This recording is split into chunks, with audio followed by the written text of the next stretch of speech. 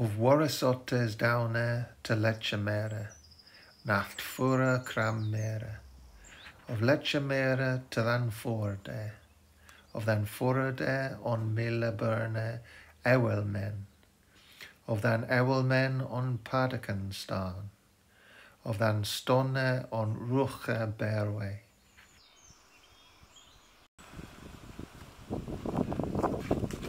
I'm in Edington in Wiltshire and that might be a name that's familiar to, to you.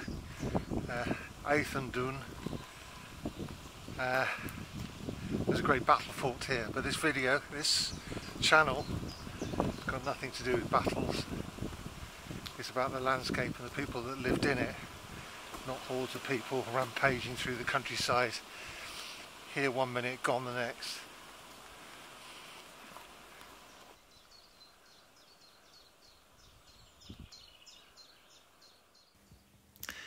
The English obviously didn't win uh, for the simple reason that uh, England was divided in two for a couple of centuries. And secondly, quite a few words that we use today are Norse words that have gone into, into English. This, this shows there was settlement and cross fertilization of, of languages and culture. So the, the point of this channel isn't necessarily to preserve something that is Anglo-Saxon, simply to point out the source of um, many of our place names and um, some of our culture, but also to recognise that England changed, um, not just with the the Dane, the invasion of the Danes, but also uh, the Norman invasion the Reformation and so on, um, culture changed. Uh, and I'm not here to sort of preserve to preserve some sort of purity of the, the English language. I thoroughly enjoy speaking English, English the way it is.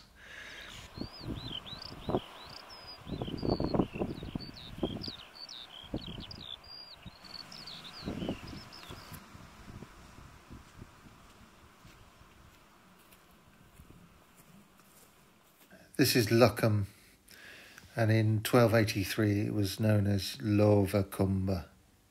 Its name probably means uh, the combe of the Anglo-Saxon uh, Leova, but we don't know whether or not that's true or not. That's hypothetical. But it is today called Luccombe, and that is uh, there are there are springs at the bottom there in that copse and those stream, those springs are the uh, Awelme of um, of the charter that I talked about earlier on, that uh, become the River Milburn, or the the Brook Milburn,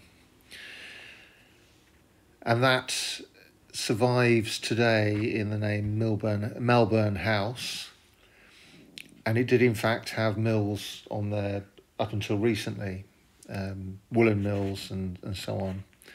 Um, it looks on the map as a, just a tiny streamlet, but it seems to be important enough to have several mills on, strong enough to have several mills on.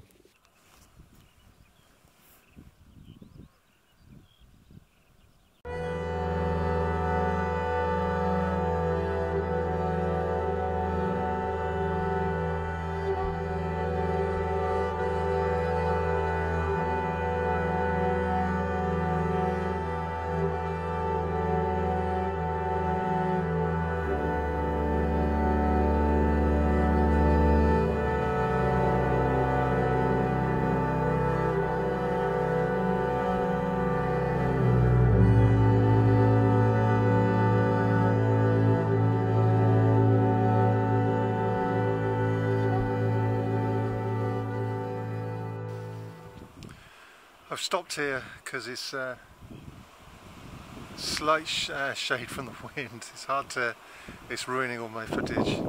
I would, um, I've been looking for an Anglo-Saxon stone. Uh, the previous shot was where it should have been.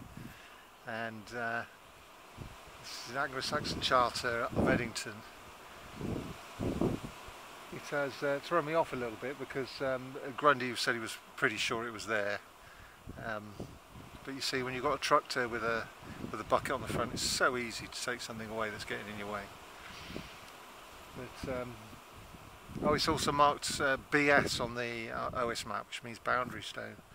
So it, again, it should should be here, but it's not, which is really a real shame. We can't actually precisely identify that it is at certain points, but it's a turning point in the current parish boundary, and you do need something to mark a turning point with a with a boundary charter. Uh, so anyway, I'm going to go. I'm having a nice walk. It is a really nice. I belong on the downs. It doesn't matter which down it is, as long as it's chalk, I belong there.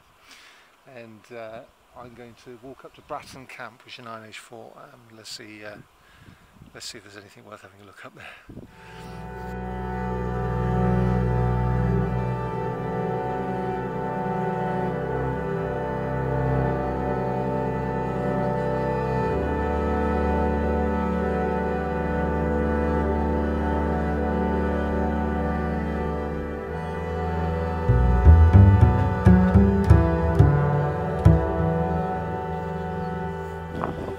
This this is uh, a wild onion. You can eat this.